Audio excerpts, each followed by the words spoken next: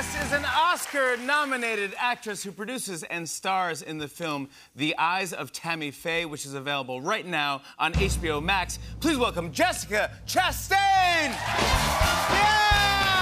Oh! Ah, it is so great to see you. It is so great to, Good to see, see you. Thank you so much for coming back on the show. Uh, this looks interesting. Can you tell everyone where you're zooming from? I am zooming from the makeup trailer from uh, the George Jones and Tammy Wynette miniseries that I'm shooting. Wow. How's that? Yeah. That's how's that going? It's going, man. I mean, you know, Michael Shannon's playing George Jones. I know I love he Michael loves Shannon. you. I love Michael Shannon. yes, you guys are ridiculous together. Um, He's the greatest.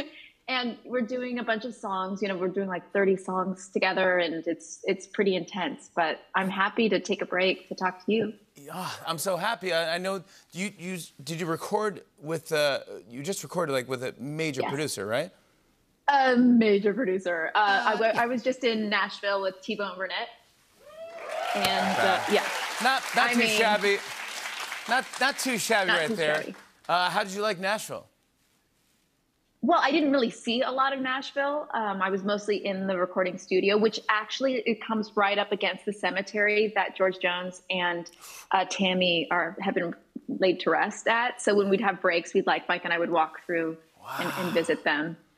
I know, and then we drank a lot of bourbon, a lot of Yeah, bourbon yeah. to get over the nerves, Yeah. and uh, sang with T-Bone. That's amazing. I, it's so I, I find it. I love that you're doing more musical projects because I know where you live right now is very famous for some uh, some great music was made in your building.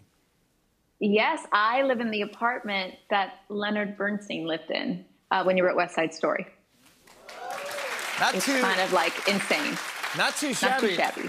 But also, uh, I think another cool weird thing about your, you- where you live is that you you spent a lot of time around that building when you were a kid, not even knowing that you would eventually live there, move there.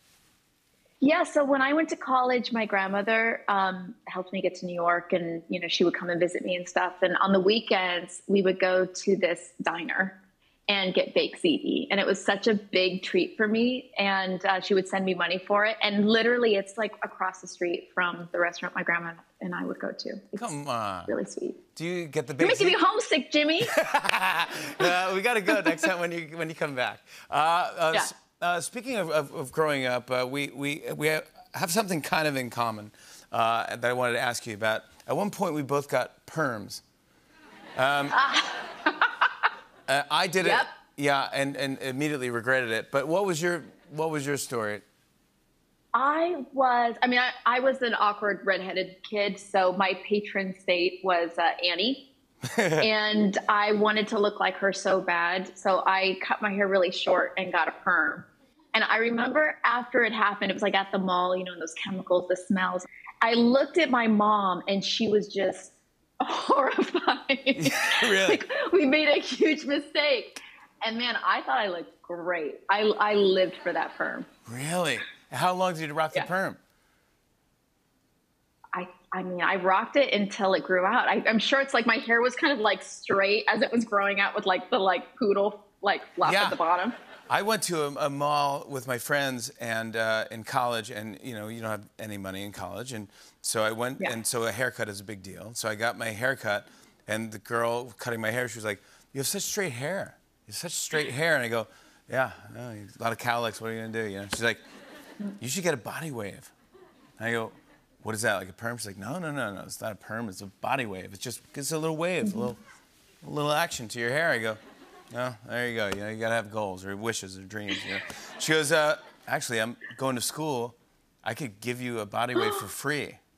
And all I heard was free. And when you're in college, you're like, yeah, let's do it. Let's just do a body wave right now. Let's do it. So, cut to, I'm under the dryer in the window reading Red Book, and my friends walk by. They're like, what are you doing? I go, I'm getting a body wave, man. Like, what are you talking about? and, and they pulled the hair dryer off. And I was like, "Oh my gosh, dude! It was, uh, it was, crazy." And you, you can't just wash it out. Can I just ask you because this all sounds like a big ploy to get a girl's number? Did you get her number after she permed your hair? No, I wasn't that. What? Who would ever want to date me with this uh, hair? It's like a Play-Doh, a helmet thing. It was so weird. It just looked so weird on me. Uh, it was odd, and I remember going home on Christmas break to see my mom, and my mom opened the door and she slammed the door after she saw it. She said, No. slammed the door and she's like, "What is wrong with you? What are you doing?" I'm like, "I don't know. I look, The face. I kind of look like Kramer or something. That's the way I was kind of dry, I thought, kind of grew. isn't the expression the face and the hair only a mother could love? Yeah, exactly. You proved it Uh, wrong. Yeah, I proved it all wrong. Uh, uh, you were phenomenal in the eyes of Tammy Faye. Uh, congrats on uh, all the uh, nominations you're getting. Uh, you didn't. You don't look like you. You don't sound like you. Uh, we had Andrew Garfield on the show uh, a couple months ago, and he was he played Jim Bakker, and he told me that you guys would go to that uh, to church every Sunday to, to, to kind of research this. They're, the church that they started, right? Yeah, so every Sunday, I pick up the Starbucks and pick up Andrew, and we drive to kind of it was where Heritage USA was, um, which is now I think Morningside Church, and we were like, okay, we're just gonna go and we're gonna, you know, be quiet and kind of you know slip into the background, and hopefully no one will notice us. We kind of felt like we were sneaking in a little bit. Um, we just wanted to have the experience of being there. And we're there, and right in the beginning, Andrew goes, I recognize that person from the documentary. And it was, he was right. There's, there was a man there who's in the documentary. And, and I said, okay, let's go talk to him. So we go up. Andrew's super shy. And I'm like, hello, my name is Jessica Chastain. And this is Andrew Garfield. And we're playing um, Tammy Faye Bakker and Jim Bakker. And I'm wondering if we can talk to you. And the guy just like looks at us and he's like, come with me. We're like, oh, we're in trouble. So we start walking into like behind the the stage and like there's these dark hallways, and we're thinking we're gonna get busted, we're gonna get thrown out of here. I don't know what's happening. And Yeah. he takes us into this room where there's other security guards, and they start whispering to each other. And then all of a sudden he looks at us, and I thought, this is it, we're in trouble. And he looks at Andrew and he goes, Are you Spider Man? and that's when I knew we're in. Yes!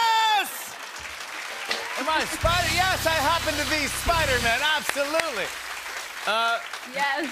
I want to talk to you more about uh, the eyes of Tammy Faye because I want to know this, the singing voice was amazing and the puppetry that you did. I want to get into all of this stuff. Uh, more with Jessica Chastain after the break. Stick around.